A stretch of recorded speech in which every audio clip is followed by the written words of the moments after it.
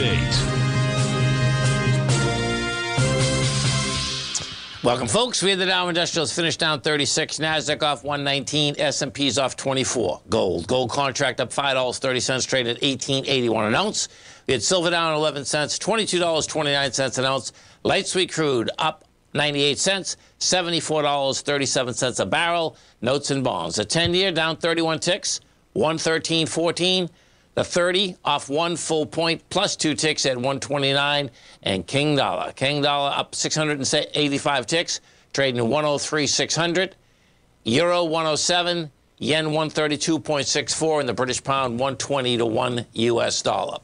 We get on and take a look at the S&P first, folks. Bottom line is that you have the SPY closed down $2.49.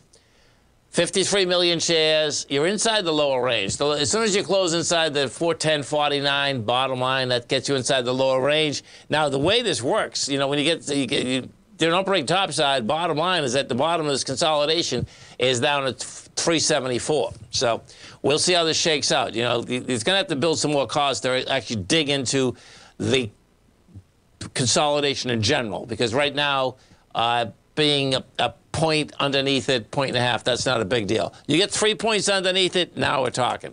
And the X100, we go over to take a look at the Q, three Qs. What do you have inside the three Qs? Three Qs, short volume, only 38 million shares. The 38 million shares is coming into uh, 57, 67.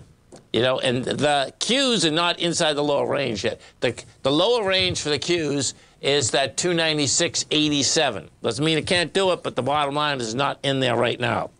We go to the gold contract. We look at, look at the gold contract bottom line.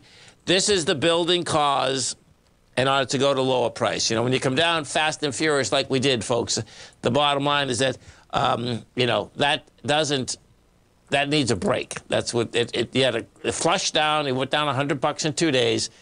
And when I say it's in the middle of nowhere, you can see, you know, most times, you know, there was three days that it traded at this level, and that's what's slowing it down. But I suspect you're going to build cause, and I expect this is going to come down into this 1821 to 1850 area. Have a great night, folks. Have a safe night. Come back and visit Tommy tomorrow morning. Kicks us off 9 a.m. Don't forget about the Tigers Den, folks. It's a dollar. It's an amazing community we have. Tigers and Tigresses. They're in there 12 hours a day for sure. You know, it gets active at 6 o'clock in the morning, stays to 4, 4.30, uh, and then people come back 7 or 8 o'clock at night. Have a great one, folks. Have a safe one.